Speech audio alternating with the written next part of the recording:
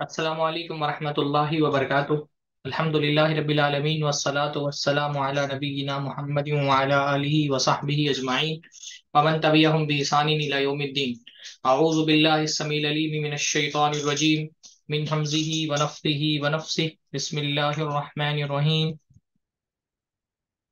अलम तर इलल्लज़ीन खरजू मिन दियारिहिम वहुम उलूफुन हदरल मौत फक़ाल लहुमुल्लाहु मूतू सुम्मा अहयाहुम इन्नल्लाहा लज़ू फ़ज़लिन अलन नास वलाकिन्न अक्सरन नास ला यशकुरून सबसे पहले हर किस्म की हमद और सना, तारीफ़, और तौसीफ अल्लाह रब्बुल इज़्ज़त के लिए लायक और ज़ेबा ज़ेबा है जिसके फजल एहसान से आज की इस बाबरकत मजलिस में हम जमा हुए हैं। अल्लाह ताला हम सबके यहाँ जमा होने को कबूल फरमाए। अल्लाह रब्बुल आलमीन हम सबको अपने दीन की खिदमत करने वाला बनाए, इखलास नीयत के साथ। अल्लाह रब्बुल आलमीन की दीन के लिए काम करने वाला बनाए। अल्लाह रब्बुल आलमीन हम सबको कुरान पढ़ने वाला, कुरान समझने वाला, कुरान की, कुरान के अहकाम पर अमल करने वाला और कुरान से अपने सीनों को मुनवर करने वाला, कुरान में अपने मसाइल हल तलाश करने वाला, अपनी मुसीबतों का इलाज तलाश करने वाला बनाए। दो सूर्य बकरा की तफसीर आयत नंबर 242 तक हो चुकी थी। आज के दर से ताला सूर्य बकरा की आयत नंबर 243 से हम तफसीर का आगाज़ करेंगे। अल्लाह ने फरमाया, अलम तरा अलम तरा, अलम क्या आपने नहीं देखा? तरा ये वाहिद का सेगा है, बुनियादी तौर पे खिताब अल्लाह के नबी सल्लल्लाहु अलैहि वसल्लम से है। अलबत्ता कुरान मजीद में कभी ऐसा होता है कि खिताब अल्लाह के नबी से होता है और अल्लाह के नबी सल्लल्लाहु अलैहि वसल्लम के साथ साथ आपकी उम्मत को भी अल्लाह के नबी के तवसुल से खिताब किया जाता है। अलम तरा कि आपने उन लोगों को नहीं देखा। तरा के मामले में एक बात ये भी याद रखें कि रा जो है वो सिर्फ़ आँखों से देखने के माने में नहीं आता, बल्कि किसी चीज़ पे गौर और फ़िक्र करने के माने में भी आता है। जैसे राय जो है हमारे उर्दू में भी कहा जाता है ना, राय रा से राय से, राय भी बनाए। तो राय का मतलब होता है ख्याल। कि आपका इन लोगों के बारे में क्या ख्याल है, क्या राय है, दिल से देखना, किसी चीज़ के बारे में गौर फ़िक्र करना।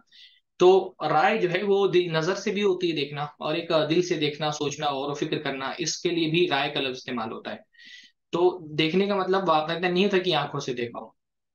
जैसे अलम तरा कई फफा रब का भी असहाबिल फील। अल्लाह के नबी से कहा गया कि आपने नहीं देखा कि आपके रब ने असहाब फील के साथ क्या मामला किया। तो वहाँ नहीं देखा का मतलब ये नहीं होता कि आँखों से नहीं देखा। वहाँ नहीं देखा का मतलब कि आपको पता नहीं है कि आपके इल्म में नहीं है। तो राय जो है वो इल्म के माने में भी आता है कि आपको पता नहीं है, आप जानते नहीं है। ये तर्जमा असल में यहाँ पर होता है। राय का मतलब आँखों से देखना नहीं होता हमेशा। और इससे बाज लोग जो है ना जो बुद्धि है तबका, वो अल्लाह के नबी के आलिमुल गैब होने पर भी इस्तेदाल करते कि देखो, अल्लाह के नबी हम पैदा नहीं हुए थे और अल्लाह के नबी की पैदाइश से पहले की जो वाकयात हैं, वो भी अल्लाह के नबी वसल्लम देख लेते थे। इसीलिए तो अल्लाह ताला ने अलम तरा कहा। इसका जवाब इंशाल्लाह ताला हम आगे जब तफसीर करेंगे तो देखेंगे।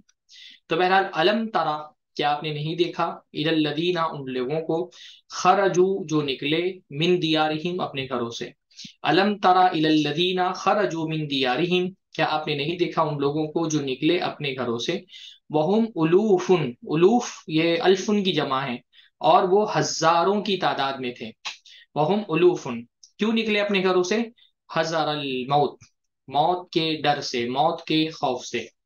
फ़काल तो अल्लाह ताला ने उनसे कहा कि तुम मर जाओ। तुम अहिया तो फिर उनको दोबारा अल्लाह ने ज़िंदा कर दिया। इन लजू फजलिन बेशक अल्लाह ताला लोगों पर बड़ा फजल करने वाला है। वाला किन्ना अक्सर अन्नासी ला यशकुरून। लेकिन अक्सर लोग शुक्रिया अदा नहीं करते। आयत का सादा सा माना यह है कि अल्लाह के अल्लाह के नबी वसल्लम फरमा रहा है कि क्या आपने उन लोगों को नहीं देखा या आप लोगों, आपको उन लोगों का इल्म नहीं है? जो हज़ारों की तादाद में होने के बावजूद अपने घर से निकल गए, मौत के खौफ से। वकाल मोतू तो अल्लाह ने उनसे कहा, मर जाओ। सुम दोबारा अल्लाह ने उनको ज़िंदा कर दिया। बेशक लोगों पर अल्लाह का बहुत फजल है, लेकिन अक्सर लोग शुक्र अदा नहीं करते। यहाँ अब दोबारा सूर्य बकरा का जो एक बहुत बुनियादी मौजू है कताल जिहाद, उस पर गुफ्तु हो रही है। बस की बाज मुफसरीन जो है, उन्होंने कहा कि पूरा सुर बकरा का कोई अगर बुनियादी मौजू है, यानी एक कोई सेंट्रल टॉपिक अगर तय करना हो कि जिसके गिर्द सुर बकरा के सारे मौजूद जमा हो जाते हैं तो वो कहते हैं कि सेंट्रल टॉपिक जो है बेसिक मरकजी उन्वान सुर बकरा का, या मरकजी मबहस, या मरकजी मौजू सुर बकरा का है, वो है जिहाद। यहाँ पर जो तलाक वगैरह से मुतालिक और खुला, और दर्द से मुतालिक जो बातें आई हैं वो भी असल में जिहाद के पास मंजर में है कि जिहाद होगा तो कुछ लोग मारे जाएँगे मारे जाएँगे तो कुछ औरतें बेवा होंगी, जो औरतें बेवा होंगी, उनको इद्दत गुजारनी पड़ेगी तो फिर इद्दत के मसाइल आ गए, फिर उसमें निकाह के मसाइल भी जिम्मे ज़िक्र कर दिए गए, तलाक के मसाइल भी ज़िक्र कर दिए गए, खुला के मसाइल ज़िक्र कर दिए गए। तो यानी उलमा ने कहा है कि इन्फाक का जो इतना बड़ा सुर बकरा में तफसील से ज़िक्र आया है तो करें इन्फाक का भी असल ताल्लुक जो है वो अल्लाह के रास्ते में जब जिहाद हो रहा हो तो उसमें खर्च करने से है। तो कई मुफसरीन ने ये बात कही है कि सुर बकरा का एक जो मरकजी मौजू है, एक बुनियादी मौजू, जिससे कि दीर जो है वो पूरी सुर बकरा के सारे मौजूद जमा किए जा सकते हैं। और जितने भी मौजूद पे सुर बकरा में बात होती है, वो सारे मौजूद जो है वो जिस मरकजी मौजू के जिम्न में आते हैं, वो है जिहाद। अब बहुत सारी बातें करने के बाद फिर से जिहाद का मौजूद शुरू हो गया है और क्योंकि मैंने बताया था कि अभी ये सूरत हाल ये है कि मुसलमान मदीना में आ चुके हैं। ये सूरत मदनी सूरत है। मदीना में आने के बाद मुसलमानों की एक रियासत बन गई है। चूँकि रियासत होती है तो रियासत के एक स्टेट जब बन जाते हैं ना तो स्टेट के बहुत सारे शोबे होते हैं और इसमें एक लादिमन एक शोभा होता है डिफेंस का शोभा जब तक अल्लाह के नबी वसल्लम अपने साहबा के साथ मक्का में थे, मुसलमानों का कोई स्टेट नहीं था। मुसलमानों की कोई रियासत नहीं थी। जिसकी हिफाजत करनी थी। तो उस वक्त तक जिहाद फ़र्ज़ नहीं था। मदीना आने के बाद एक तो स्टेट बन गया। फिर की मुसलसल खतरे हैं। मुशरकिन की तरफ़ से हंगामे बर्पा किए जा रहे हैं। फौज कशी का खतरा लगा हुआ है और मुख्तलिफ़ मौकों पर घात लगा करके हमले भी हो रहे हैं मदीना के अंदर। तो अब ऐसी सूरत हाल में, क्योंकि जिहाद फ़र्ज़ कर दिया गया है तो अब जिहाद से मुतालिक अहकाम है। बेशतर दूसरे बकरा के अहकाम है, वो जिहाद के ताल्लुक से आ रहे हैं। और वो जिहाद एक स्टेट की तरफ़ से हो रहा है। वो कोई इंडिविजुअल जिहाद नहीं हो रहा एक स्टेट है। मदीना एक रियासत है। उस रियासत का एक हाकिम है। अल्लाह के नबी वसल्लम की हैसियत न सिर्फ़ नबी और रसूल की नहीं थी। अल्लाह के नबी वसल्लम जो रियासत मदीना थी, उसके हाकिम थे अल्लाह के नबी वसल्लम। सुल्तान थे अल्लाह के नबी वसल्लम। उसके एक बादशाह थे गोया की। और फिर अब स्टेट है तो ज़ाहिर सी बात है कि स्टेट में एक डिफेंस का शोबा भी होता है तो वो डिफेंस का शोबा कायम किया गया, उसके लिए तैयारियाँ की गई, यहूदियों से माहदे किए गए और अलग अलग कबीलों से माहदे किए गए सीज फायर के माहदे किए गए और मदीना के दिफा का माहिदा किया गया। तो वो सारा जो जिहाद का मौजू है, वो फिर से दोबारा शुरू हो रहा है तलाक और खुला और निकाह के मौजूद के खत्म होने के बाद। तो यहाँ पे असल में तमहीद में एक बात बताई जा रही कि जिहाद से आदमी अपना दिल क्यों चुराता है? उसको मौत का खौफ होता है, इंसान मौत से डरता है। अल्लाह ताला एक वाकई के ज़रिए से तमहीद शुरू कर रहा है कि मौत के खौफ से अगर तुम जिहाद से बचो तो अल्लाह ताला मौत देने पे तुमको कादिर है। वो बगैर जिहाद की भी तुमको मौत दे सकता है। तो ऐसे ही किसी कौम का ज़िक्र हो रहा है। ये कौन लोग थे जो अपने घर से निकले थे, जो हज़ारों की तादाद में थे और किसी वजह से उनको मौत आ गई और फिर अल्लाह रब्बुल आलमीन उनको दोबारा ज़िंदा किया? इसका कोई ज़िक्र हमको इस आयत के अंदर नहीं मिलता। ना पूरे कुरान मजीद में कहीं मिलता है, ना हदीसों में कोई वजाहत इसकी मौजूद है। इसराइली रिवायत हैं, बाज साहबा ने जो है वो आसार नकल किए हैं कि वो किसी ने कहा कि ये बनी इसराइल के लोग थे, किसी ने कोई और कौम करार दिया। तो वो तफसील नहीं बताएगी क्योंकि कुरान मजीद असल में कोई तारीख की किताब नहीं है। तो कुरान मजीद अगर माजी की कोई खबर भी बयान करता है तो उस खबर के बयान करने के पीछे हिकमत होती है कि इससे तुम इबरत हासिल करो। जो, वो पहलू, जो इबरत के पहलू नहीं होते, उनको बयान नहीं किया जाता। अब कौन सी कौम थी? वो नहीं बयान किया गया। क्योंकि उससे इस वाकई से इबरत लेने का कोई ताल्लुक नहीं है तो कौम का नाम नहीं बयान किया गया। और आप बहुत सारे वाकत में देखेंगे कि कुरान मजीद खास तौर पे अस्मा ज़िक्र नहीं करता, नाम ज़िक्र नहीं करता, क्योंकि नाम ज़िक्र करने से क्या होता है, एक जहन हमारा असल वाकई की तरफ़ फोकस करने के बजाय नामों पर फोकस करने लगता है। और नाम बार बार जहन में आने लगते हैं। इसलिए कुरान मजीद का एक खास उसलूब है वाकयात को बयान करने का कि कुरान मजीद में आमतौर पर नाम नहीं बयान किए जाते। ताकि बंदा नामों के चक्कर में पढ़ के असल मैसेज जो कन्वे करना चाहता है कुरान मजीद, उससे दूर ना हो जाए। इसलिए आप देखेंगे ना सुरे सुरे अच्छा इस वजह से कुरान मजीद के जो वाकयात सुनाने का तरीका, उसमें बहुत इम्पैक्ट भी आ जाता है। हाँ मैं यानी आप देखिए सूर्य यूसुफ आप पढ़िए कुरान मजीद के अंदर। तो आप देखेंगे कि बहुत ही कम जो है किसी का नाम आ रहा है। यानी अंबिया का नाम आ गया, हज़रत याकूब का नाम आ गया, हज़रत यूसुफ का नाम आ गया। हज़रत यूसुफ के किसी भी भाई का नाम नहीं आया। सिर्फ़ ये आया कि बड़ा भाई, छोटा भाई और सब, जो भी आया, लेकिन किसी का नाम नहीं आया। इसी तरह से उनकी वालदा का कोई नाम नहीं आया हज़रत यूसुफ अलैहिस्सलाम का। और वो बादशाह को, बादशाह कह दिया गया, मलिक कहा गया। अज़ीज़ मिस्र को अज़ीज़ मिस्र कह दिया गया। अज़ीज़ मिस्र की बीवी को इमरात अज़ीज़ कह दिया गया। जो जुलेखा नाम पढ़ते हैं, कहीं कुरान हदीस में नहीं आया सुरह सुफा पढ़ेंगे तो जुलेखा नाम कहीं नहीं आएगा। वो जुलेखा तो वैसे आ गया मतलब इसराइली रिवायत में आ गया, वरना आप देखेंगे सुरह यूसुफ में जुलेखा नाम नहीं आया। कैदियों का ज़िक्र आया, उनका भी कोई नाम नहीं आया। जो लोग उनको निकाल कर लेके गए थे कुएँ से उनका भी नाम नहीं आया। एक जो, उनके जो साथी थे दोनों, एक को साथी कह दिया, लेकिन उसका भी नाम नहीं आया, सिर्फ़ साथी कह दिया गया। तो कुरान मजीद की वाकयात को बयान करने के उसलूब में एक बात आप ये देखेंगे कि कुरान मजीद नामों पे बहुत ज़्यादा फोकस नहीं करता है। और इसका फ़ायदा क्या होता है कि नाम ना बयान करने की वजह से उलझन नहीं पैदा होती। मतलब एक बात, एक मरतबा इतफाक से हज़रत यूसुफ इस्लाम का जो किस्सा है, जब मैं इजाज़ कुरान पे दर्स तैयार करता था तो, तो मैंने जो पूरा ओल्ड टेस्टमेंट में जो वाक़ बयान हुआ है हज़रत यूसुफ इस्लाम का उसकी कुछ जो है तफसीलात मैंने ओल्ड टेस्टमेंट में पढ़ी। तो उसमें इतने हर जगह पर नाम ज़िक्र है। हर किसी का नाम ज़िक्र है। अच्छा नाम ज़िक्र करने से ये होता है ना कि आदमी का नाम में उलझ जाता है। इसलिए आप यही वाक़ जो यूसुफ इस्लाम का है कुरान मजीद में पढ़ते हैं तो एक सलासत और एक रवानी आपको महसूस होती है। और जब आप वही वाक़ ओल्ड टेस्टमेंट में पढ़ते हैं तो एक उलझाओ। अच्छा ये नाम फिर आपको सोचना पड़ता है कि ये नाम किसका था, ये नाम किसका था, ये नाम किसका था। जैसे इमरात अज़ीज़ आप कह देते हैं तो आपको ये सोचना नहीं पड़ता कि इमरात अज़ीज़ तो ज़ाहिर सी बात है, वो जो अज़ीज़ मिसर था उसकी बीवी। पर जब जुलेखा तो आपको याद करना पड़ता है, जुलेखा पीछे जाकर के देख, याद करना पड़ता है कि आप जुलेखा किसका नाम था फलब बिन किसका नाम था।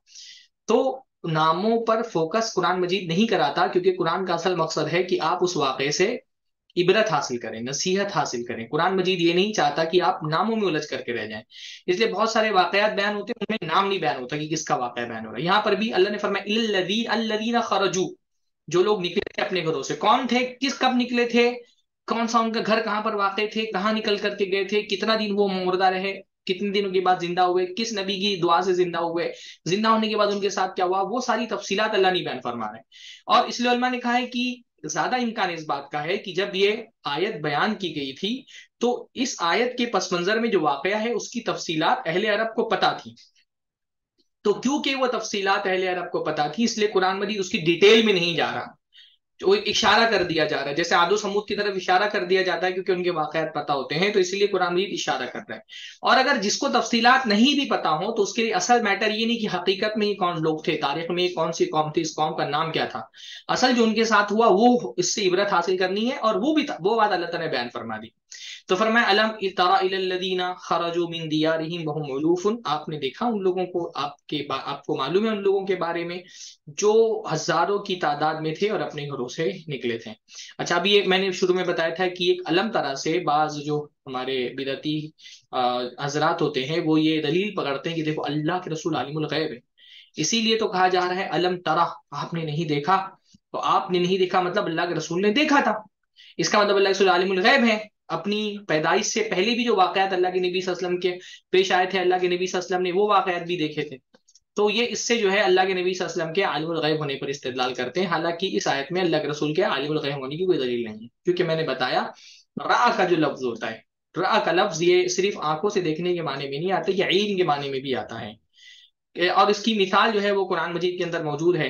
और ये जैसे कि कभी मुनाजरे की नौबत आ जाए तो अगर किसी को खामोश करना हो तो इस मिसाल से खामोश किया जा सकता है इस तरह की दलीलों पर। अल्लाह ने फरमाया, अवलम यरल इंसानु अन्ना खलकना हो मिनफतिन फ़ैज़ा हुआ खसीम मुबीन। क्या इंसान ने ये नहीं देखा, अन्ना खलकना हो मिनफतिन कि हमने उसको एक नुतफे से पैदा किया। फ़ैज़ा हुआ खसीम मुबीन और फिर वो एक खुला हुआ झगड़ने वाला बन गया। अल्लाह ताला की तखलीक पर इनकार कर रहा है, हालाँकि अल्लाह ने उसको एक नुतफे से पैदा किया।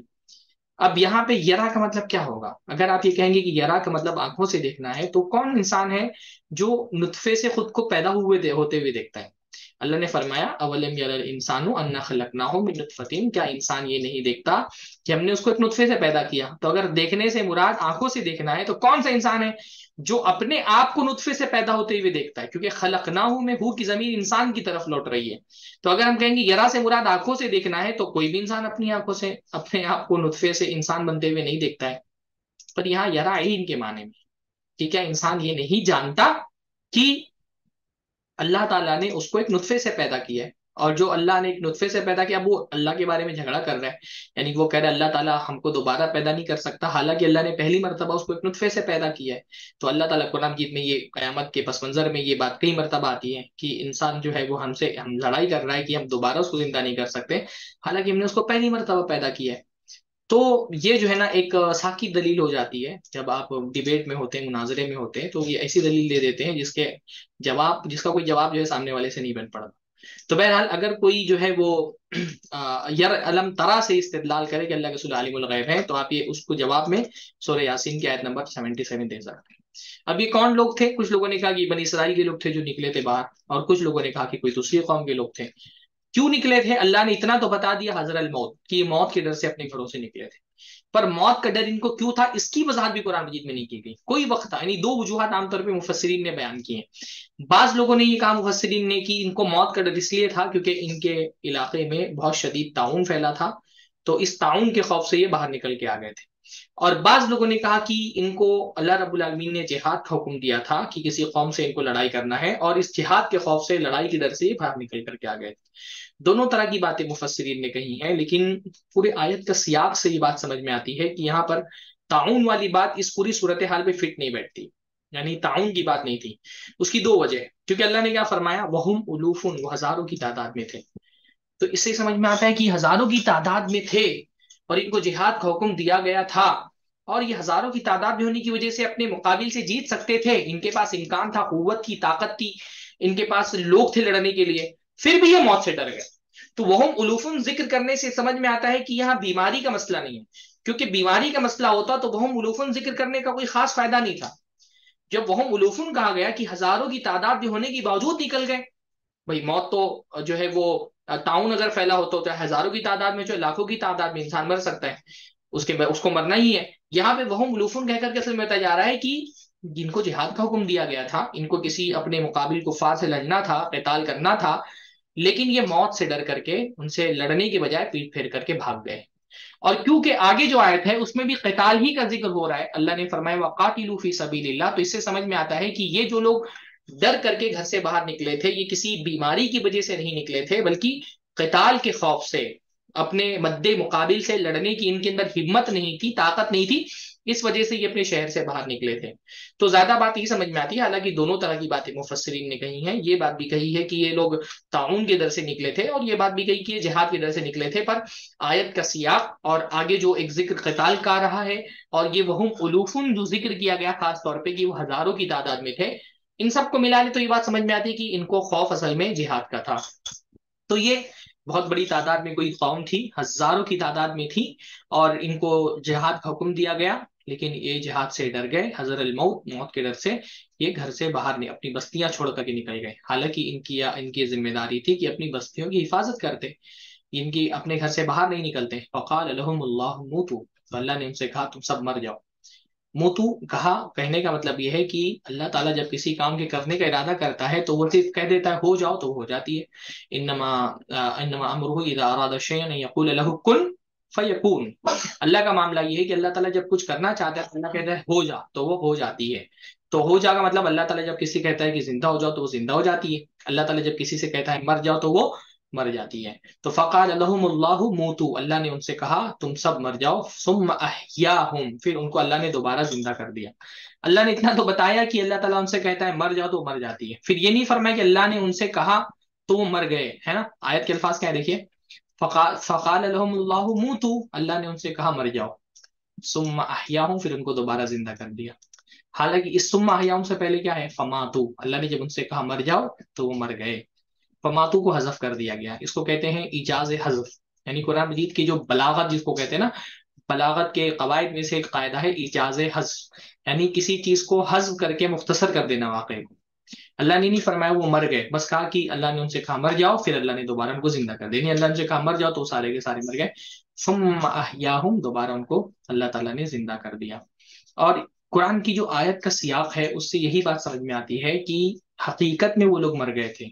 यहाँ किसी जवाल को मौत से ताबीर नहीं किया गया, क्योंकि बहुत सारे मुफसरीन जो शमसफिकजादा साहब तदब्बर कुरान में, अमीन हसन इसलाही, मौलाना मौदूदी तफीम कुरान में वो ये कहते हैं यहाँ मौत से मुराद हकीकी मौत नहीं है, बल्कि बनी इसराइल का ज़िक्र हो रहा है कि हज़रत मूसा के बाद जब उनको अमालका से या किसी कम, कबीले से लड़ने के लिए कहा गया तो वो नहीं लड़े तो उनके नज़दीक वो जवाल का शिकार रहे, जवाल यानी वो पस्ती का शिकार रहे, वो महकूम बन करके रहे, मजलूम बन करके रहे तो उनकी जो पस्ती की ज़िंदगी है, अल्लाह ताला ने उसको मौत से ताबीर किया, यानी वो कहते हैं, मौत से मुराद हकीकी मौत नहीं है। और आमतौर पर आप गुमरा मुफसरीन क्या देखेंगे कि वो जब भी कोई ऐसी बात आती है जो, जिसका ताल्लुक मोजे से होता है करिश्मात से होता है तो वो आमतौर पे कोशिश करते हैं तावील करके उसका कोई और माना बयान करने तो अब क्योंकि, यानी जिसको साइंस कबूल नहीं करती है तो आमतौर पे वो कोशिश ये करते हैं कि कुरान की आयत का माना ऐसा पेश करें कि वो साइंस के मुआफिक हो जाए। अब साइंस ये कबूल नहीं करती है मरने के बाद कोई दोबारा ज़िंदा हो। तो उन्होंने क्या किया? तावील किया। शम्स पीरजादा साहब ने भी किया मौला मदूदी ने भी किया है। अमीन हसन इसलाई साहब ने भी ये किया है। तो बेशतर जो जिनको हमारे यहाँ कहा जाता है, अकलानियत पसंद मुफसरीन जो कुरानी आयत के मुकाबले में अपनी अकल बहुत ज़्यादा लड़ाते हैं। उन सब लोगों ने कहा है, मोतों से मुराद यहाँ पे हकीकी मौत नहीं है, बल्कि वो जो उनका कमज़ोरी की ज़िंदगी थी और दूसरे कौमों की मातहती में जो उन्होंने जवाल का उनका दौर था, उस जवाल के दौर को, उस पस्ती और कमज़ोरी को अल्लाह ताला ने मौत से ताबिर किया है। तो कुरान की आयत से बहुत साफ़ समझ में आ रहा है कि यहाँ पर मौत से मुराद हकीकी मौत है यानी हकीकत में वो हज़ारों लोग मर गए थे। और एक आ, किसी अरसे तक के वो मरे पड़े रहे सुम हूँ और ज़िंदा करने का मतलब हकीकी ज़िंदा करना है। अहिया से मुराद ये नहीं है कि वो जो है आ, उन्होंने जैसे इमाम मदूदी साहब ने लिखा है कि वो पस्ती में थे, फिर अल्लाह ताला ने उनको कामयाबी अता फरमाई। तो उनके हार और नाकामी को मौत और उनकी कामयाबी को ज़िंदगी से ताबीर किया, ऐसी बात नहीं है। हकीकत में अल्लाह ताला ने उनको ज़िंदा किया था। इन अल्लाह फजलनास बेशक अल्लाह रबालमीन लोगों पे बहुत फजल करने वाला है। वाला किन अक्सर ला यशकुरून, लेकिन अक्सर लोग शुक्रगुजारी नहीं करते। अल्लाह ताला लदू फजल फजल का मतलब होता है नेमत, एहसान। वो सब तो अल्लाह ताला लोगों पर बहुत रहम करने वाला, बहुत एहसान करने वाला है, लेकिन लोगों को अल्लाह की रहमत की कदर नहीं है, लोगों को इसलिए बेशतर जो लोग हैं वो शुक्रगुजार हैं। लदू फजलिन नास, लोगों पर अल्लाह ताला फजल करने वाला है। इससे तो भाई एक बात ये समझ में आती है कि अल्लाह का फजल सिर्फ़ मुसलमानों पर नहीं है। अल्लाह ताला हर किसी पे फजल करने वाला है। अल्लाह ताला के फजल का कोई हद नहीं है कि अल्लाह ताला सिर्फ़ मुसलमानों पे फजल करता है, ठीक है? अल्लाह ताला मुसलमानों पे ज़्यादा फजल करता है, लेकिन सिर्फ़ अल्लाह ताला मुसलमानों पर फजल नहीं करता। अल्लाह ताला हर इंसान पे फजल करने वाला है। लदू फजलिन नास का सारे लोगों पे अल्लाह ताला फजल करने वाला है।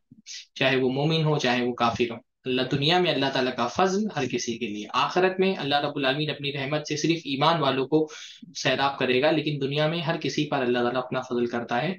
वलाकिन अक्सर नासी ला लेकिन अक्सर लोग शुक्रगुजारी नहीं करते हैं। लेकिन लेकिन अक्सर लोग शुक्रगुजारी नहीं करते हैं।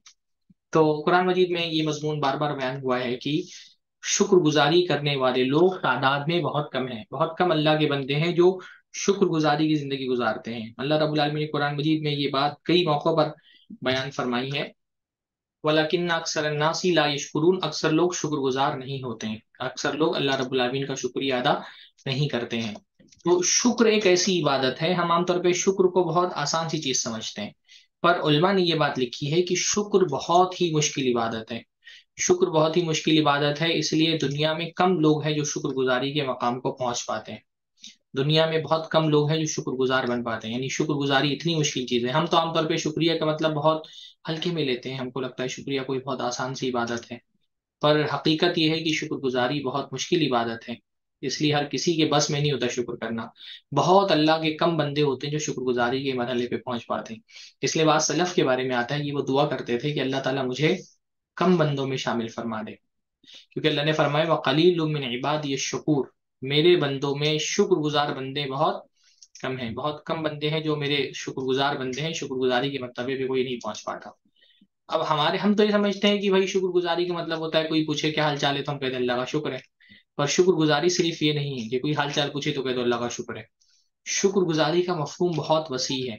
यानी उलमा ने ये बात कही है कि शुक्रगुजारी में एक तो यानी पहली चीज़ होती है, शुक्रगुजारी पाँच चीज़ों से मिलकर के बनती है। पाँच चीज़ें करने से आदमी शुक्रगुजार बंदा बनता है। शुक्र जो है वो पाँच चीज़ों से मिलकर के बनता है। पहली चीज़ क्या है? पहली चीज़ ये है कि बंदा अल्लाह ताला की नेमतों की कदर जाने। शुक्र का पहला पहला दरवाज़ा, पहला यानी पाँच चीज़ें हैं जिनको मिला के शुक्र बनता है। पहला क्या? अल्लाह ताला की नेमतों की वैल्यू समझना। अगर आप अल्लाह रब्बुल आलमीन की नेमत की वैल्यू ही नहीं समझते कोई उसकी कदर ही नहीं करते तो शुक्रगुजार नहीं हो सकते। यानी अल्लाह के करोड़ों एहसान आप पर पर अगर उन उन एहसानात की, की वैल्यू आपको नहीं पता तो दिल में शुक्र का जज्बा कैसे पैदा होगा? इसलिए शुक्र का आगाज़ अल्लाह ताला की नेमत की जो भी नेमत अल्लाह ताला ने दी है भाई सबसे बड़ी नेमत तो ईमान की नेमत है। ईमान की नेमत के साथ अल्लाह ने अगर आपको सेहत की नेमत दी है औलाद की नेमत दी है खाने की नेमत दी है, पीने के लिए पानी है, सांस लेने के लिए ऑक्सीजन है, यानी अल्लाह ताला की कोई नेमत, और कोई भी नेमत अपनी जगह पर छोटी नहीं होती, हर नेमत अल्लाह ताला की बड़ी ही नेमत होती है। तो सबसे पहला तकाजा क्या है? आप अल्लाह ताला की नेमतों की वैल्यू को समझें, अल्लाह ताला की नेमत की कदर समझें। दूसरा चीज़, अल्लाह ताला के लिए इतराफ करें कि ये नेमत आपको अल्लाह ताला के देने से मिली। आपने अपनी ताकत और कुत से इस नेमत को हासिल नहीं किया है, अल्लाह ताला ने दिया है तो आपको मिली है। तीसरी चीज़ की आप जो है वो अल्लाह ताला की इन नेमतों पर अल्लाह ताला की इन नेमतों पर अल्लाह ताला की, अल्लाह ताला के लिए एतराफ़ करें कि अल्लाह ताला ने ये नेमत आपको दी है। तीसरी चीज़ ये है कि आप इन नेमतों को अल्लाह रब्बुल आलमीन की तरफ़ से इन, जो अल्लाह ताला ने जो इनके यानी इन इन नेमतों को अल्लाह ताला की नाफरमानी में इस्तेमाल ना करें। अल्लाह ताला की फर्मा बरदारी में इस्तेमाल करें।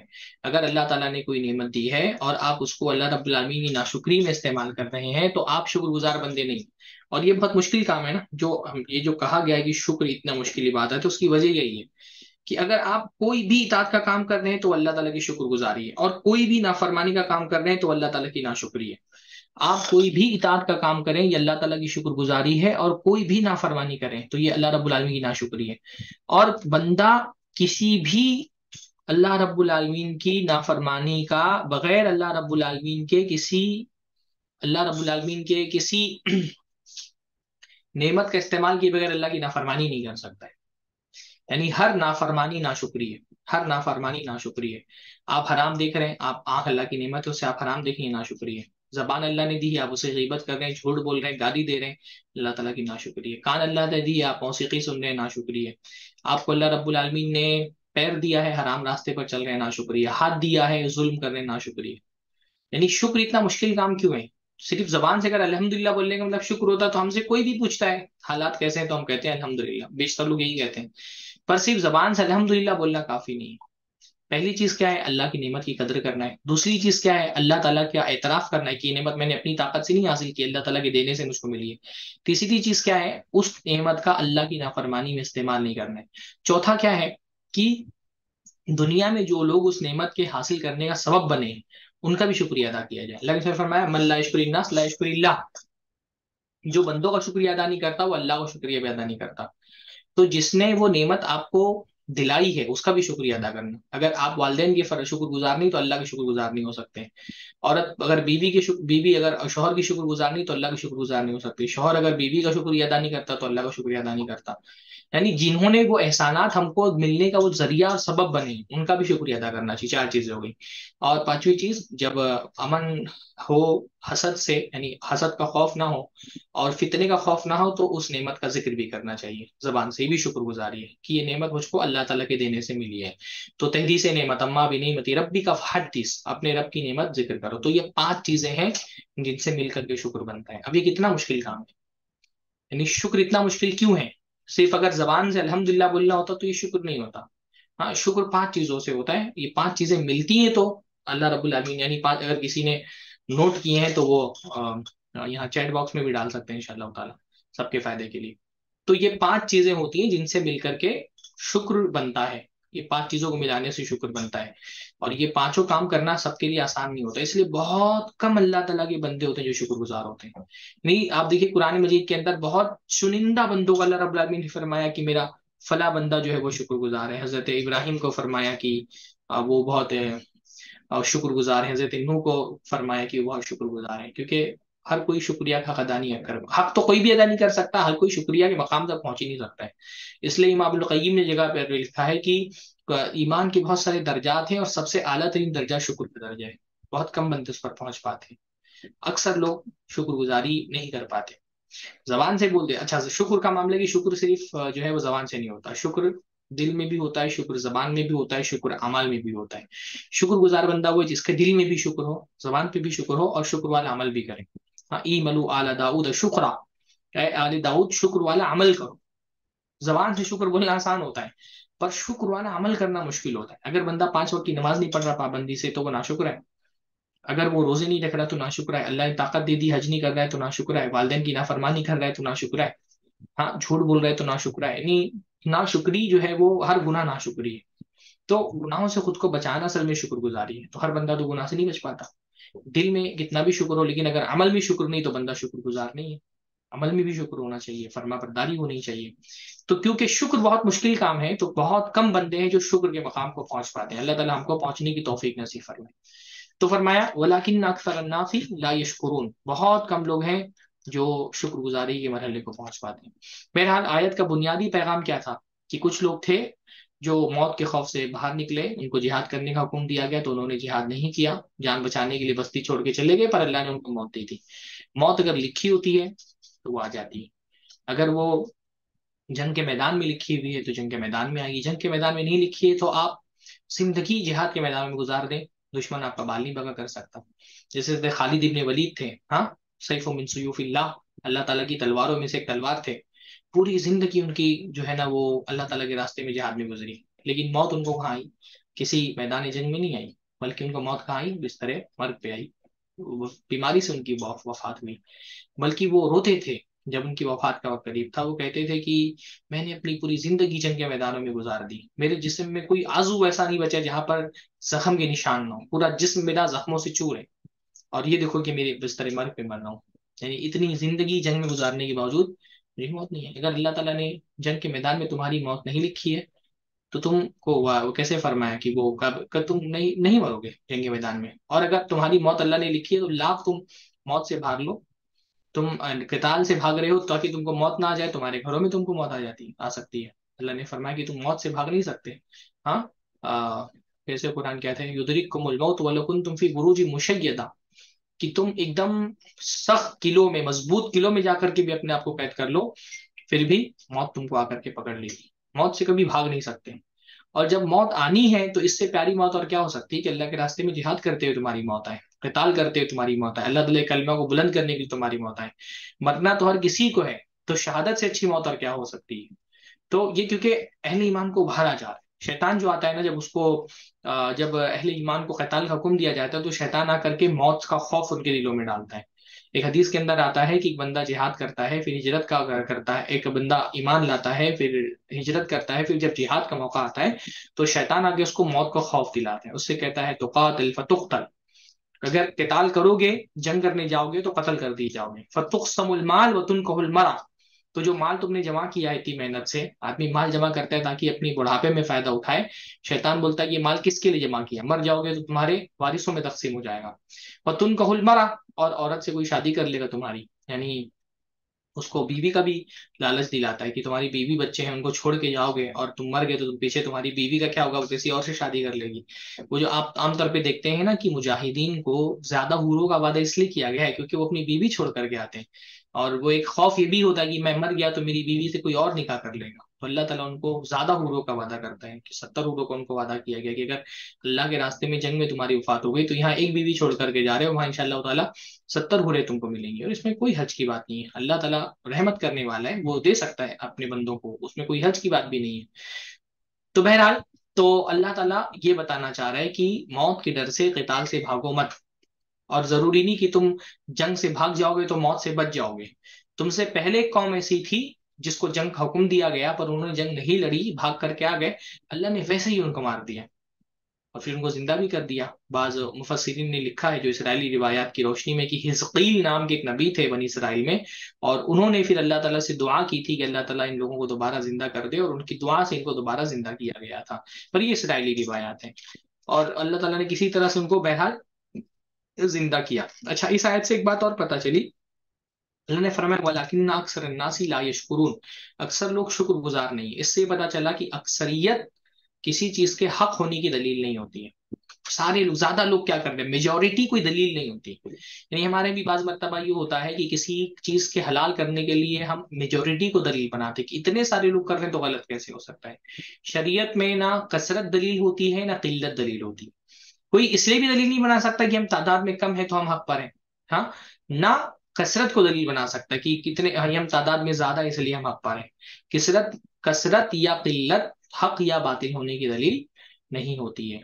और उसकी दलील यह है कि दुनिया में अक्सर लोग नाशुक्र हैं, शुक्रगुजार लोग बहुत कम हैं। तो अगर अक्सरियत को दलील बनाए तो फिर तो नाशुक्री सही होगी। पर नाशुक्री नहीं शुक्रगुजारी सही है। तो अक्सरियत जो है वो किसी दावत पर अक्सरियत का होना, ये उसके सही होने की दलील नहीं है। फ़ी अल्लाह ने फरमाया, और अल्लाह के रास्ते में जिहाद करो। इस आयत की वजह से ही हम ये कह रहे हैं कि पिछली आयत में जो ज़िक्र आया कि लोग मौत के डर से भागे थे तो वो मौत जो है किसी वबा की वजह से नहीं भागे थे, बल्कि वो जिहाद के खौफ से भागे थे, लड़ने से डर गए थे इसलिए भागे थे। बाकी वबा के बारे में भी अल्लाह के नबी वसल्लम की वो हदीसें हैं, जो आमतौर पर मुफसरीन इसी आयत की जिम में ज़िक्र करते हैं कि अगर कोई किसी इलाके में हो और उस इलाके में कोई वबा आ जाए तो वो उस इलाके से बाहर ना निकले। अल्लाह के नबी सल्लल्लाहु अलैहि वसल्लम ने इससे मना फरमाया है कि जो बाहर है, वो अंदर ना जाए और जो अंदर है, वो बाहर ना जाए। हज़रत उमर के ज़माने में हज़रत उमर के ज़माने में वो शाम के सफ़र पर थे, जिहाद जारी था और अचानक उनको ताउन अमवास की खबर मिली कि अमवास में शदीद ताउन फैला था, हज़ारों की तादाद में लोग उसमें मारे गए थे और अभी वो इस इलाके में पहुँचे नहीं थे तो उन्होंने मशवरा किया साहबा से। तो बाद साहबा ने कहा कि आप दाखिल हो जाइए। बास साहबा ने कहा कि आप दाखिल ना हो। हज़रत अबू उबैदा ने, हज़रत उमर ने आखिर में फैसला किया कि हम नहीं दाखिल होंगे। तो हज़रत उबैदा ने कहा कि आप तकदीर से भाग रहे हैं। तो हज़रत उमर नाराज़ हो गए। कहा लौकाल गई रखी कि अबू उबैदा, काशी बात तुम्हारे अलावा किसी और ने कही होती कि मैं तकदीर से भाग रहा हूँ। और उन्होंने बड़ी प्यारी बात कही, उन्होंने कहा कि नफिर इला कदरिल्लाह। मैं अल्लाह की तकदीर से अल्लाह की तकदीर की तरफ़ भाग रहा हूँ। ये बड़ी प्यारी बात है बहुत मशहूर बात है ताउन अमवास का। कि हज़रत अबूबैदा ने जब कहा तो एक तो पहली बात हज़रत अबूबैदा की इतनी कदर थी कि हज़रत उमर ने कहा कि अबू अबूबैदा तुम ऐसी बात कह रहे हो। काश बात तुमने नहीं कही होती, किसी और ने कही होती। लौकाल हागिर की अबूबैदा और उसके बाद फरमाया कि हम अल्लाह की तकदीर से अल्लाह की तकदीर की तरफ़ भाग हैं। और फिर उन्होंने मिसाल भी दी हज़रत उमर ने उसकी, कि अगर तुम्हारे पास बकरियाँ चराने के लिए तुम जाओ और एक वादी है जो हरी भरी है और एक वादी है जो सूखी है तो तुम किसमें बकरियाँ अपनी चराओगे? ज़ाहिर सी बात है, जो हरी भरी वादी है, उसमें तो हरी भरी वादी में बकरी चराने का मतलब नहीं कि तुम अल्लाह की तकदीर से भाग रहे हो। अल्लाह ने जो तुमको इख्तियार दिया है, तुम अपने तौर पे उस इख्तियार में जो बेहतर ऑप्शन होगा, उसको इख्तियार करो। बाकी जो अल्लाह ने तकदीर में लिखा है, वो तुमको मिल करके रहेगा। तो अल्लाह ने हमको इख्तियार दिया है तो हम टाउन वाले इलाके में नहीं जाएँगे। बाकी अगर अल्लाह ताला ने मौत लिखी होगी तो हम उस इलाके में जाए, बगैर मर जाएँगे। तो अल्लाह ताला ने हमको जिहाद का हुक्म दिया तो हम जिहाद करेंगे। मौत लिखी होगी तो मर जाएँगे, नहीं लिखी होगी तो जंगों में रह करके भी नहीं मरेंगे। तो बहुत सारे ने इस आयत के जिन में ये बात कही है कि अगर किसी इलाके में ताउन फैला हुआ हो तो मौत के डर से वहाँ से भागना नहीं चाहिए, सब्र करना चाहिए। और उसके बारे में अल्लाह की बहुत सारी हदीस है कि जो सब्र करे ऐसे इलाके में रहते हुए जहाँ पे ताउन फैला हुआ है और इसी हालत में उसकी मौत हो जाए तो वो क़यामत के दिन शहदा के ज़ुमरे में उसका वो उठेगा। शुहद यानी शहीद होगा क़यामत के दिन, उसका मकाम शहीदों वाला होगा। अल्लाह तला की तरफ़ से उसको शहादत का अजर मिलेगा। लेकिन सही बात यही है कि ये जो लोग भागे थे अपने शहर से, ये ताउन के डर से नहीं भागे थे, बल्कि ये जिहाद के खौफ से भागे थे, जिहाद नहीं कर, बुजदिली में भागे थे। पर मैं वक़ातिलू फ़ी सबीलिल्लाह और अल्लाह के रास्ते में कताल करो। यानी कताल करना, ये अल्लाह ताला की तरफ़ से हुक्म है और ये की मदनी सूरत है तो मदनी सूरत में जब मक्का का दौर था तो अल्लाह ने फरमाया कुफ आईदीकुम अपने हाथ रोक करके रखो। मक्का में, क्योंकि मुसलमान अकलियत में थे, ताकत भी नहीं थी लड़ने की।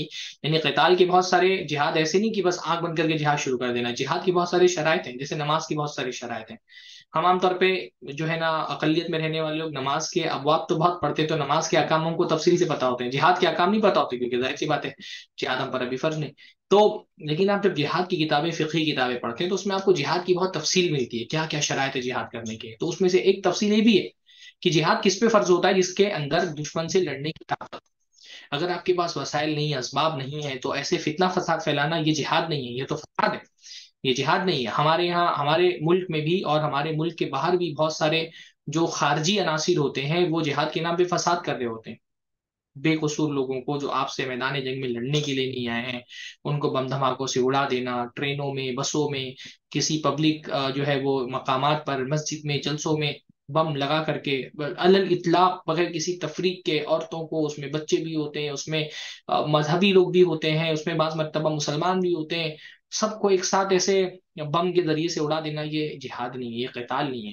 कताल वो होता है जो एक बाकायदा रियासत से रियासत का होता है। जैसे हमारे इलाकों में, हमारे जमाने में जो है वो मुल्क आपस में दूसरे से लड़ाई करते हैं, एक रियासत दूसरी रियासत से लड़ाई करती है तो कताल भी असल में अपनी रियासत की तहफ़ के लिए होता है। इसलिए मदीना जब एक रियासत बन गई, तब जिहाद हुआ। अल्लाह के नबी सल्लल्लाहु अलैहि वसल्लम चाहते तो मक्का के अंदर रहते हुए भी ये कर सकते थे ना कि किसी सहाबी को तय कर देते कि तुम चुपके से जाओ और अबू जहल मुसलमानों पे बहुत जुल्म कर रहा है, जाके चुपके से उसको कत्ल कर दो। हाँ या मैं अपने खलफ को कत्ल कर दो। मुश्किल चीज़ तो नहीं थी एक आदमी को कत्ल कर दिया जाता। ज़्यादा से ज़्यादा कत्ल में वो कत्ल कर दिया जाता जिसने कत्ल किया है।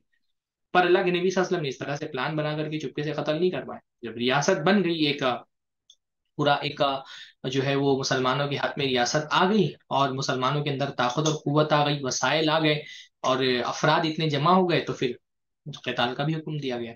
तो ये कताल खास उस पस मंजर में है। कभी भी कुरान की आयतों को उनके पस मंजर से जिन हालात में वो आयतें नाजिल हुई हैं, उनको निकाल करके दूसरे हालात पर फिट नहीं करना चाहिए। आमतौर पे खारजियत जो पनपती है ना, वो उसी वक्त पनपती है जब आयतों को उनके कॉन्टेक्स्ट से निकाल करके मिस यूज़ किया जाता है आयतों का। आयत को आप उसके जो कॉन्टेक्स्ट में आयत यानी जो सूरत हाल थी, उस पूरे सूरत हाल से निकाल करके अभी मैंने एक मौलवी साहब का बयान सुना। वो कहते हैं कि सब्र के बारे में, सब कहते हैं, पर कुरान मजीद ने भी कहा अपनी ताकत जमा करके रखो और दुश्मनों को डराओ। अरे भाई, वो किसी माइनॉरिटी को थोड़ी कहा गया कि अपनी ताकत जमा करके रखो और अपने दुश्मनों को डराओ। वो एक मेजोरिटी को कहा गया है, यानी एक बड़ी ताकत थी मुसलमानों की। मुसलमान मदीना में मेजोरिटी थे और उनका बाकायदा जिहाद हो रहा था मुशरकिन के साथ। उस पसंदर में वायते नाजली हुई है। अब कोई उन आयतों को ला करके मुसलमानों के हिंदुस्तान के मुसलमानों के हालत पर चिस्पा करेगा तो सिवाय इसके कि वो फसाद फैलाएगा और कुछ नहीं करेगा। ऐसी जहनीत से हिंदुस्तानी मुसलमानों का सिवाय नुकसान को और कोई फ़ायदा नहीं होने वाला। वो आयतें जो जिहाद की आयतें हैं, वो ये हमेशा याद रखना चाहिए। जिहाद की आयतें, मदीना की आयतें हैं।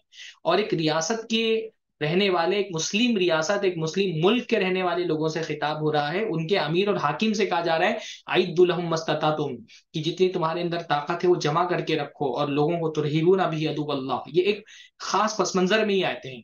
उस पस मंजर को, उस सियाक से काट करके, उन हालात को इग्नोर करके आप हिंदुस्तान के मुसलमानों को जिहाद की आयतें सुना करके ये कहें कि वो भी इस तरह की तैयारी करें और यहाँ की मेजोरिटी के खिलाफ तलवार उठाएँ और ताकत जमा करें। ये सिवाय फसाद के और कुछ नहीं है।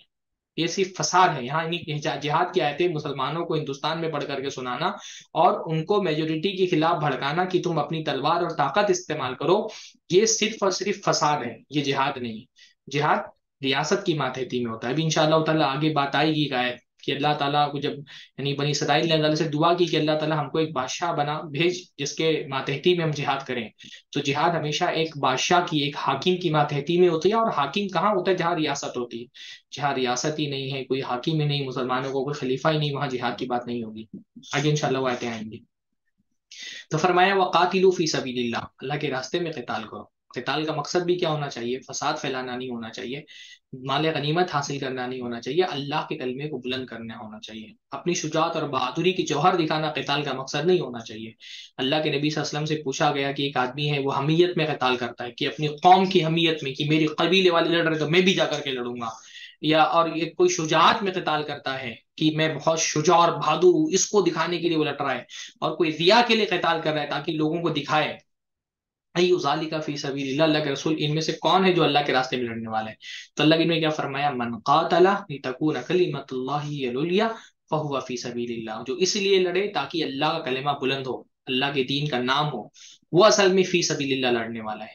बाकी दिखावे के लिए, रियाकारी के लिए कि लोग मुझे बहादुर कहें, या सिर्फ़ कौमी हमीयत और असबियत में आकर के लड़ रहा है कि मेरे कौम वाले लड़ रहे हैं, मुझे अपनी कौम वालों को सपोर्ट करना है। कौम चाहे सही करे चाहे गलत करे, अगर कौम वाले तैयार मेरे कबीले वाले लड़ने के लिए आए तो मुझे उनका साथ देना है। तो ये फ़ी सबीलिल्लाह नहीं है। फ़ी सबीलिल्लाह मुसलमानों की हिफाजत के लिए, मुसलमान रियासत की हिफाजत के लिए, इस्लामी दीन की नशरो इशात के लिए जो कताल करता है, वो असल में फ़ी सबीलिल्लाह है। वालमु अलीम, और जान लो कि अल्लाह ताला सुनने वाला और जानने वाला है। आयत में एक बात तो ये पता चली कि अल्लाह ताला क्या इन नामों का इल्म हासिल करना वाजिब है। क्योंकि अल्लाह ने क्या फरमाया वालमु जान लो। अम्र का सेगा है।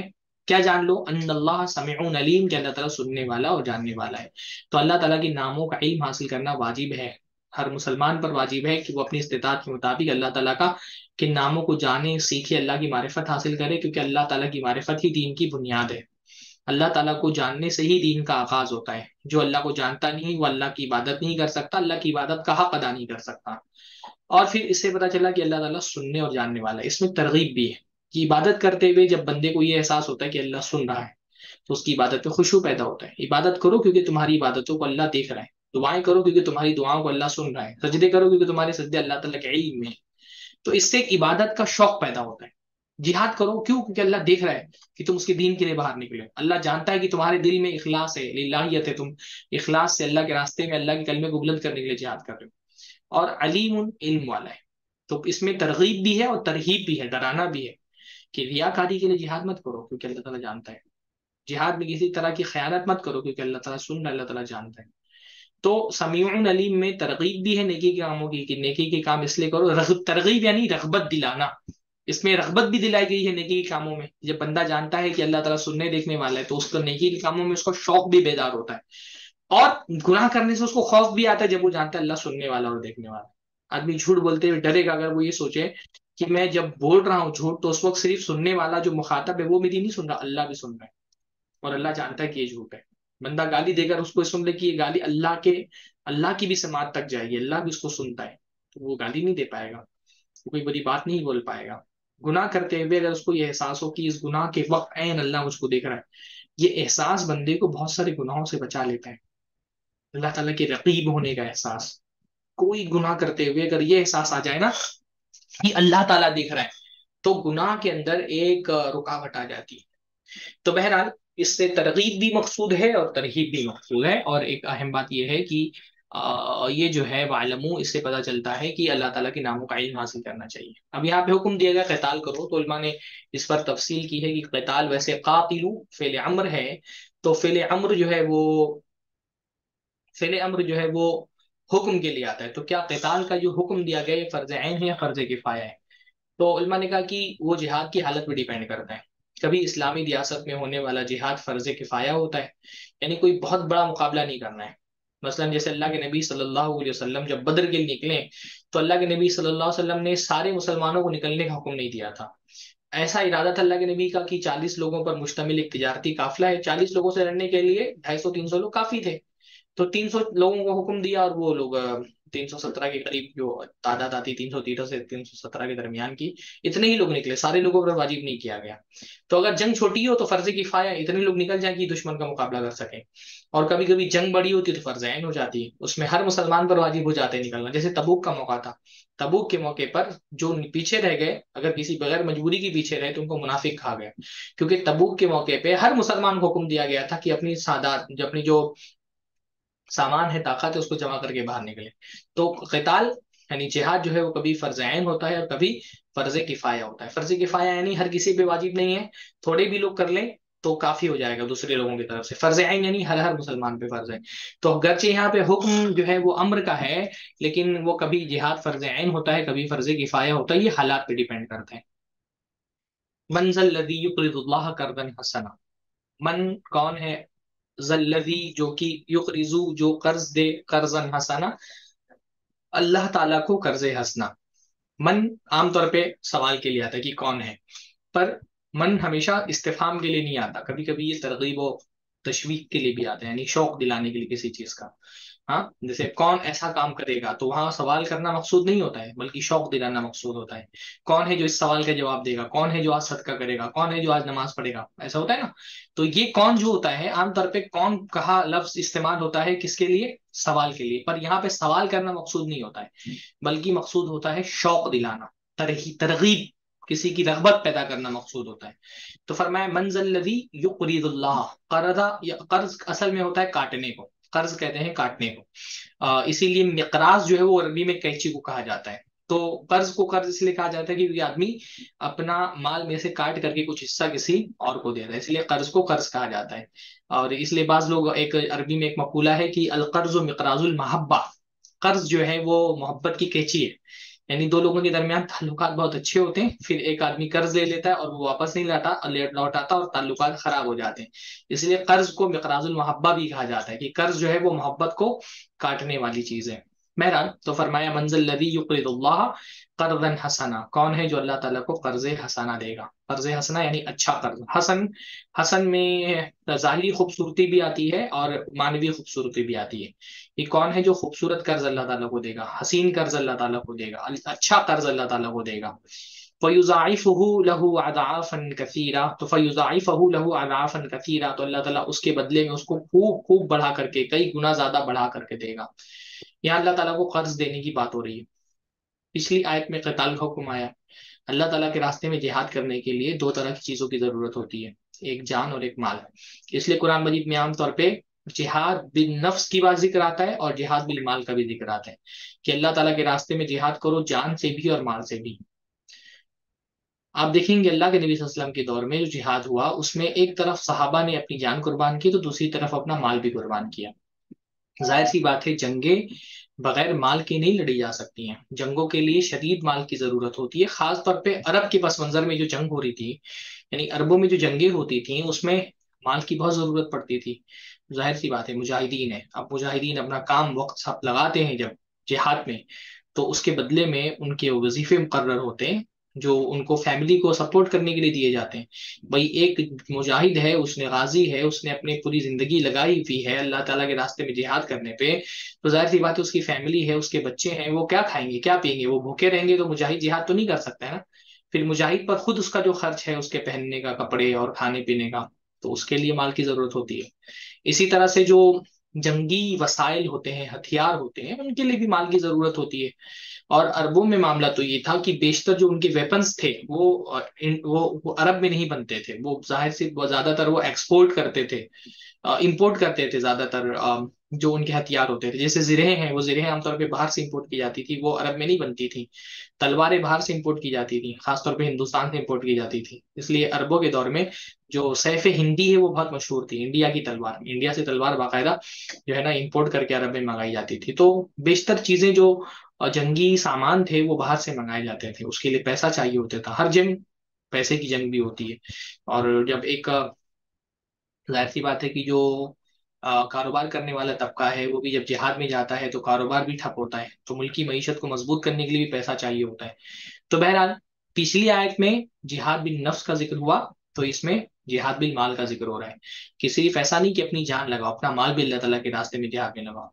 और मैंने बताया कि सूर्य बकरा में जिहाद एक मरकजी मौजू है तो कर्ज देने का हुक्म भी जो आ रहा है, वो आम सदका भी अल्लाह ताला को जो कर्ज होता है। पर यहाँ खास कैताल की बस मंजर में बात हो रही है तो यहाँ अल्लाह ताला के रास्ते में जिहाद में पैसा लगाना, इस पर बात हो रही है कि जिहाद में पैसा लगाओ। और जहाबा कराम में दोनों तरह के लोग थे, जो माली एतबार से बहुत कमज़ोर थे, उन्होंने अपनी जिसमानी ताकत और कुत लगाई। हाँ अल्लाह के नबी वसल्लम के जो शुजा और बहादुर साहबा आमतौर पर मिलते हैं, वो कौन लोग थे जो माली एतबार से जरा गरीब थे? हज़रत अली बहुत गरीब इंसान थे। नहीं हज़रत अली रज़ी अल्लाह तु के पास इतनी किल्लत थी, आपको पता है कि उन्होंने शादी जब की तो वलीमे का पैसा उनके पास नहीं था।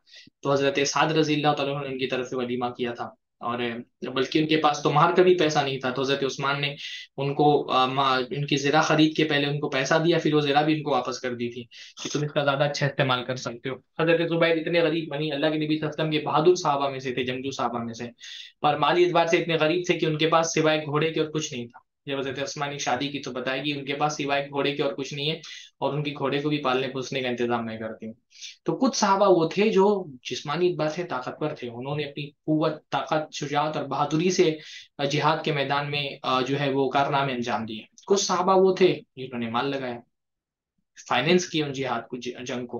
हो सकता है कि उनकी जिस्मानी कुत और ताकत के आपको इतने कारनामे ना मिले, पर फिनेंशियली उन्होंने उस जिहाद को सपोर्ट किया। अब्दुलरहमान इब्न औफ रज़ी अल्लाह हज़रत उस्मान गनी है। तबूक के मौके पे समझिए कि सारे साहबा का दस परसेंट था तो हज़रत उस्मान का नब्बे परसेंट था। इतना ज़्यादा उन्होंने दिया था। एक हज़ार दिनार की थैली लगनी भी सब कदमों में लगा के डाल दी थी। सौ के, यानी तकरीबन नौ सौ साठ या नौ सौ बीस, नौ सौ बीस ऊँट और चालीस घोड़े या साठ घोड़े, यानी एक हज़ार की तादाद उन्होंने पूरी की थी। इतना बहुत पैसा दिया था कदबू के मौके पे, हज़रत उस्मान ने। इतना पैसा दिया था कि लगे में फरमाया था मजहर उस्मान मामिल आबाद अलियम। आज के बाद उस्मान कुछ भी कर ले, उनको नुकसान नहीं पहुँचने वाला है। एक तरह से लगे नबी की बशारत थी उनके लिए जन्नत की। तो जिहाद सिर्फ़ जान से नहीं होता, जिहाद माल से भी होता है। यहाँ पर गर्चे जो है वो बात चल रही है एक ऐसे जिहाद की जो बाकायदा तलवारों वाली जिहाद थी। लेकिन एक जिहाद जो जिहाद दावत वाला है, कलम वाला जिहाद, जबान वाला जिहाद, बिल लिसान, दावत व तबलीग वाला जिहाद, ये भी जिहाद है। इस जिहाद में भी आप देखिए कि सिर्फ़ इल्म काफ़ी नहीं होता है। यानी जो दावत दावत तबलीग की जो तहरीकें होती हैं, जो इदारे होते हैं, दावत तबलीग का काम करते हैं, वहाँ पर अगर उलमा और दुआत अपनी इल्मी सलाहियतों से अल्लाह ताला के दीन की नशर इशात कर रहे होते हैं तो दूसरी तरफ़ अहले भी होते हैं, जिनका पैसा लगा होता है। हम यहाँ पर बैठे हैं, जमा, इस पूरी इसको कंडक्ट करने के लिए इस प्रोग्राम को पैसों की ज़रूरत होती है। लेकिन जिस जूम पे आप चल रहे हो जूम वालों को भी पैसा देना होता है कि जो इसलिए हमारा जो वो क्लास है वो चालीस मिनट में बन नहीं होती है। मैं जहाँ पे बैठा हूँ एसी है कंप्यूटर है फ्रिज है, ये एसी लगा हुआ है, ये सब कुछ इसके लिए पैसा लगा है ना। ये सेंटर जहाँ पे मैं बैठ करके दर्ज दे रहा हूँ, समझ एसी में। कुछ लोगों ने पैसा लगा लगाया तो ये सेंटर खरीदा गया है। यानी सिर्फ़ जो तलवार वाला जिहाद होता है उसमें नहीं जो दावत वाला जिहाद होता है, उसमें भी माल लगता है बहुत सारे लोगों का। तो माल जो है, वो हमारी ज़िंदगी की बहुत बड़ी ज़रूरत है। जो दुनिया की ज़रूरत है, वो अपनी जगह पर। तीन के लिए भी माल चाहिए हमको। इसलिए अब ये आगे आप देखेंगे, बहुत तफसील के साथ इंफाक का हुक्म आ रहा है, अल्लाह के रास्ते में खर्च करने का। क्योंकि जब तक पैसे वाले अपनी जेब से पैसा निकाल के खर्च नहीं करेंगे, दावत का काम भी नहीं हो सकता, जिहाद का काम भी नहीं हो सकता। जिहाद के लिए भी माल चाहिए और दावत के लिए भी माल चाहिए। और साबिक राम ने दिया। यानी अल्लाह के नबी ने फरमाया मानफानी माल नुकत मानफानी माल अभी बकर। किसी के माल ने मुझे उतना फ़ायदा नहीं पहुँचाया जितना अबू बकर के माल ने फ़ायदा पहुँचाया। यही तबूक का मौका था जब अल्लाह ने कहा था, खर्च करो। हज़रत उमर ने अपने आधी आधा माल अपना ला के लहजुल को दे दिया था और सोचा था कि मैं अबू बकर से आगे बढ़ जाऊँगा। तो हज़रत अबू बकर ने पूरा ही ला करके दिया। जितना था, अपने पास कुछ बचाया ही नहीं, पूरा दे दिया अल्लाह के रसूल सल्लल्लाहु अलैहि वसल्लम को। तो अल्लाह ताला, जब आप, अल्लाह ताला जो दीन का काम होता है अल्लाह ताला के, चाहे वो जिहाद वाला हो, चाहे वो दावत वाला हो, उसमें पैसे की ज़रूरत होती है। पैसा इतना अहम है, उसके बगैर दावत का भी काम नहीं हो सकता, जिहाद का भी काम नहीं हो सकता। अब पैसा इंसान की फितरत ऐसी है। पैसा इंसान को बहुत महबूब है तो उसको कोई वजह चाहिए अल्लाह अपने रास्ते से, अपने जेब से पैसा निकालने के लिए। अल्लाह ने फरमाया कि ये जो तुम निकाल करके देते हो, ये मत सोचो कि चला गया।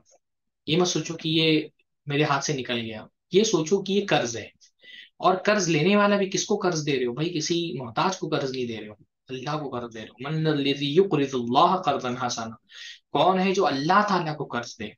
कर्ज हसाना दे। हसाना अच्छा कर्ज। अच्छा कर्ज कौन सा होता है? जिसमें माल भी पाक हो, नियत भी पाक माल भी पाक हो और नियत भी पाक हो। नियत पाक हो सिर्फ़ अल्लाह के लिए दे रहे हैं। कहीं सेंटर पे दिया, किसी दावती इदारे में दिया, जमीयत में दिया, मदरसे में दिया, या किसी गरीब को दिया, किसके लिए दिया? अल्लाह के लिए दिया। कोई ला नुरीद मिनकुम जज़ाअम वला शुकुरा। हम इसके बदले में तुमसे जिसको दिया उससे कुछ नहीं चाहिए। हमारे जो मिजाज हो गए ना, मस्जिद में भी दस रुपया देते हैं तो हम सोचते हैं कि हमको कुछ मिलना चाहिए उसके बदले में। इमाम साहब को डांटने का इख्तियार मिलना चाहिए। अगर सौ रुपया भी दिया है तो हम इमाम साहब पे हक जताएँगे कि मैं सौ रुपया दिया हूँ तो मेरा भी कोई मतलब होना चाहिए। मैं भी इमाम साहब को डांटू, मैं भी मौजिन को आँखें दिखा सकूँ कि मैंने भी सौ रुपया मस्जिद में डाला था। दुनिया में कुछ भी नहीं, किसी से कुछ नहीं चाहिए। बस अल्लाह के लिए दिया है। तो नीयत खाली अल्लाह के लिए खालिश होना चाहिए, कर्ज हंसना है। और जो माल दिया वो भी पाक होना चाहिए। हराम माल से आप जो है सदका नहीं कर सकते। तो तुम ये सोच करके दो कि कहीं जा नहीं रहे, ये अल्लाह ताला को दे रहे हैं। कर्जा कौन सा होता है? जो देने के बदले में वापस मिलने की तो होती है ना तो सदका दुनिया में हम करते हैं तो हमको वापस नहीं मिलता है। इसलिए सदके को कर्जे से ताबीर किया है कि जो तुम दे रहे हो, कर्ज समझ करके दो। कर्ज यानी किसी को दे देने के मुकाबले में सदका करने के मामले में कर्ज देना आसान होता है, क्योंकि कर्ज में हमको उम्मीद होती है कि वापस मिलेगा। तो जब अल्लाह के रास्ते में सदका करो तो इस उम्मीद से वापस, दो कि तुमको वापस भी मिलने वाला है। दुनिया में तो मिलेगा अपनी जगह पर। माँ नकजत सदका तुम माल ने फरमाया, माल से सदक़े से माल में कोई कमी नहीं होती। जो अल्लाह ताला को देता है, दुनिया में भी अल्लाह ताला उसको बढ़ा करके देता है। पर असल रिटर्न जो मिलेगा अल्लाह ताला की तरफ़ से, वो तो आखिरत में मिलेगा। बहुत बढ़ा करके मिलेगा कोई अंदाज़ा ही नहीं उसका। कम से कम दस गुना ज़्यादा से ज़्यादा की कोई कैद ही नहीं है। यानी अल्लाह तला कुरान ने फरमाया ना कि जो लोग अल्लाह के रास्ते में खर्च करते हैं, उनकी मिसाल कैसे है कि कमसली सुम्बुलतिन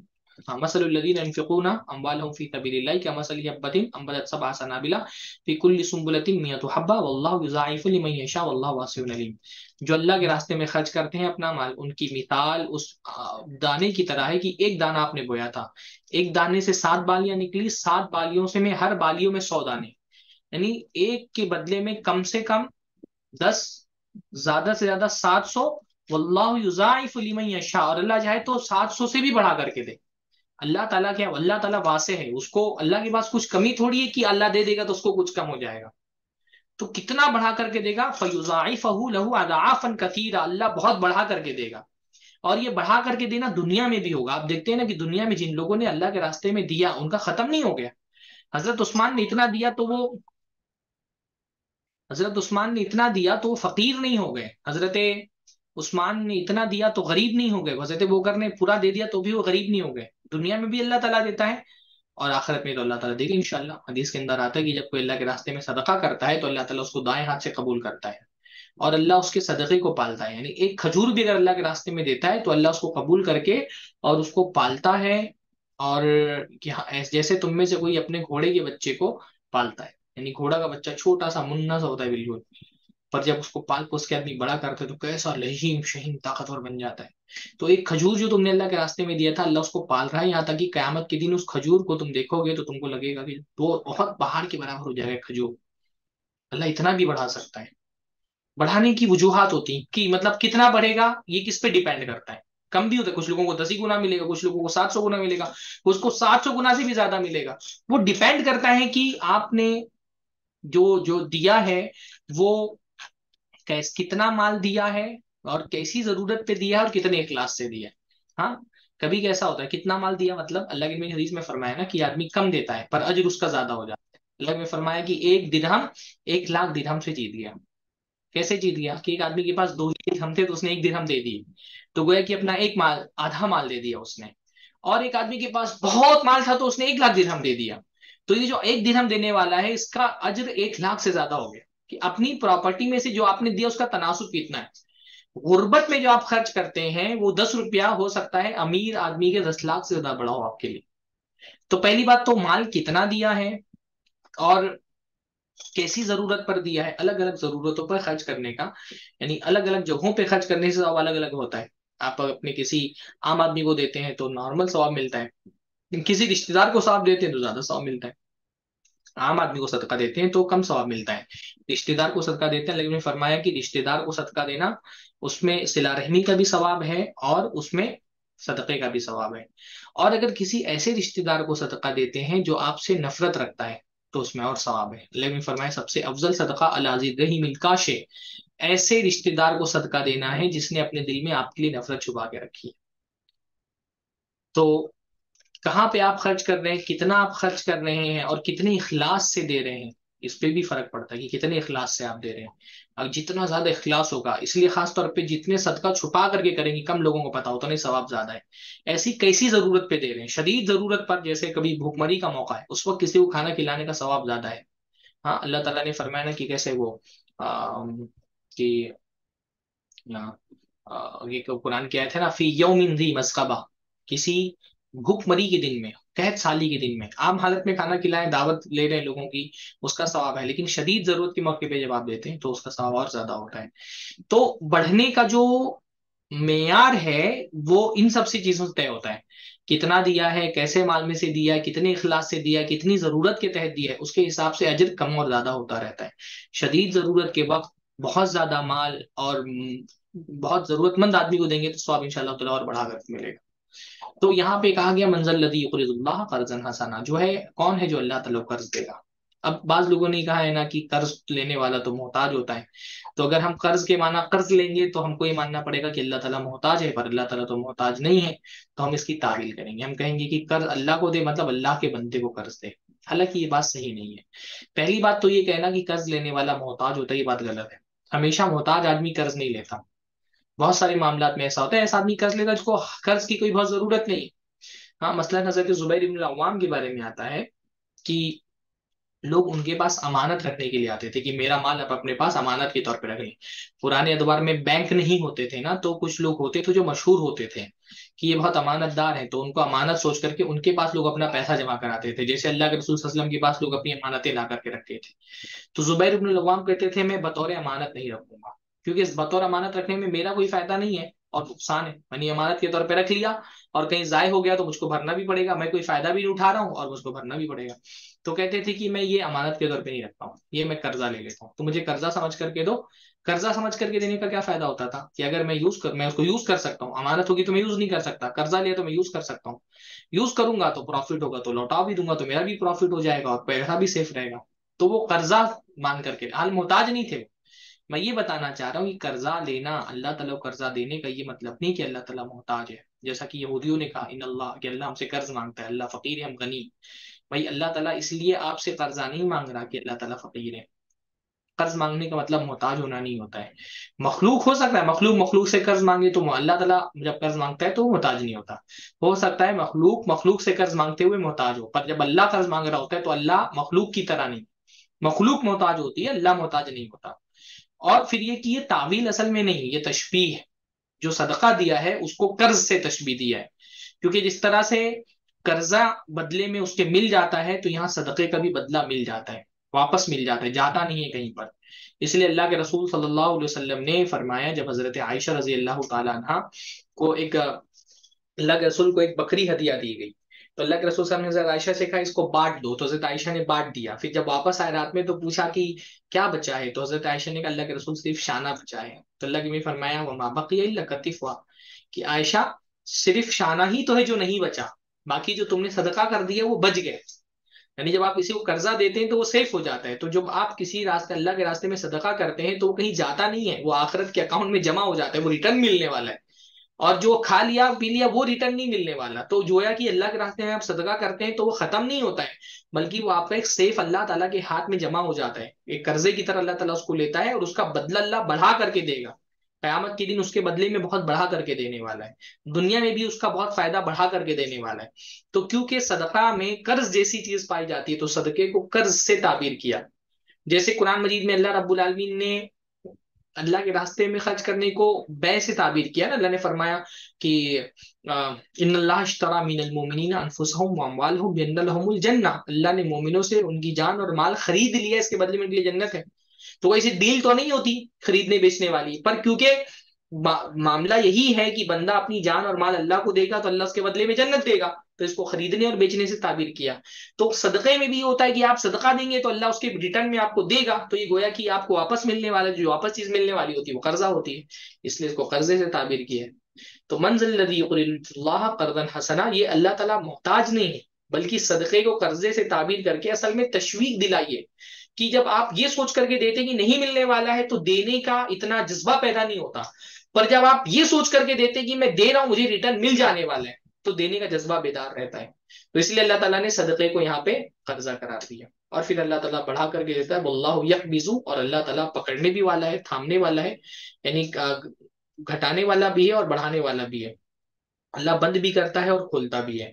कब्ज का असल मतलब होता है, पाँचों उंगलियों से किसी चीज़ को पकड़ लेना। इसीलिए कब्जा कहा जाता है, किसी चीज़ को पकड़ने को कब्जा कहा जाता है। यानी अल्लाह रब्बुल आलमीन बंद भी करता है रिस्क के दरवाजे बहुतों पर। वयब सुतु और अल्लाह ताला खुलता भी है। अलकाबिद अलबासित, अल्लाह ताला के नामों में से एक नाम भी है फिर मालम ऐसा याद आ रहा है मुझको। तो बासित अल्लाह ताला खुलने वाला भी है। रिस्क के दरवाजे खुलना बंद करना अल्लाह के हाथ में यानी जो तुम जिसको दे रहे हो, जैसे आप सिर्फ़ कर्जा देते हैं, अगर आपको ये पता है कि ये बाख्तियार है, कि मेरा कर्जा लौटा सकता है तो आपको देते हुए झिझक नहीं महसूस होती। किसी कंगाल आदमी को आप देते हैं तो आप डरते हैं ना कि पता नहीं लौटा पाएगा कि नहीं लौटा पाएगा। अल्लाह को कर्जा देते हुए मत डरो। रिस्क की कुंजिया तो अल्लाह ही के हाथ में अल्लाह ही लोगों को रिस्क देता है, अल्लाह ही लोगों को रिस्क बंद करता है। तो अल्लाह के मांगने पर नहीं दोगे तो जो मिला है अल्लाह ताला वो भी तुमसे छीन सकता है, क्योंकि वो काबिज भी है। वो छीनने वाला भी है, वो बंद करने वाला भी है। वो तुम्हारे रिस्क के दरवाजे बंद भी कर सकता है। और दोगे तो वो बढ़ा करके देगा क्योंकि वो बासित भी है। तो वजह बताई गई है कि कर्जा आदमी ऐसे लोगों को देता है जिन पर उसको एतमाद हो कि ये लौटा सकते हैं। तो अल्लाह के हाथ में तो सारी रिस्क की कुंजियाँ हैं। तो अल्लाह को देते हुए डरो मत। अल्लाह को देते हुए, अल्लाह को देते हुए तुमको खौफ नहीं होना चाहिए। अल्लाह यबसुत वयरजुकु वो इले ही तुरजाउन और अल्लाह की तरफ़ तुमको लौट के जाना है। यानी ये जो तुमको रिटर्न मिलने वाला है, ये कहाँ मिलेगा? जब तुम उसके पास लौट के जाओगे, तब असल तुमको मिलने वाला है। दुनिया में भी उसका अज्र है, लेकिन ज़रूरी नहीं कि दुनिया में तुमको मिल ही जाए, पर आखिरत में तो मिल करके रहेगा। हाँ जिनने एक रुपया भी अल्लाह के रास्ते में सच्चे दिल से सदका किया होगा, शरायत के साथ तो तुम्हारा जाए नहीं जाने वाला। वो जो एक लौटने की बात की ज़िंदगी होगी, वहाँ तुमको मिल जाएगा। जब ये आयत नाजिल हुई तो अल्लाह ताला ने हज़रत अबू दादा के बारे में आता है कि जब ये आयत नाजिल हुई तो अबू दादा ने कहा, या रसूल मिनल कर्ज। क्या अल्लाह ताला हमसे कर्ज चाहता है? काल, नाम, या अब दादा। ने फरमाया हाँ अबू दादा। काल, अरिनी या रसूल अल्लाह तो हज़रत अबू दादा ने कहा, अल्लाह के रसूल, मुझे अपना हाथ दिखाइए। फनावल यदहू तो अल्लाह के रसूल ने हज़रत अबू दादा को अपना हाथ दिखाया। फरमाया, फ़इन्नी कद अकरस तो वजल हाइती।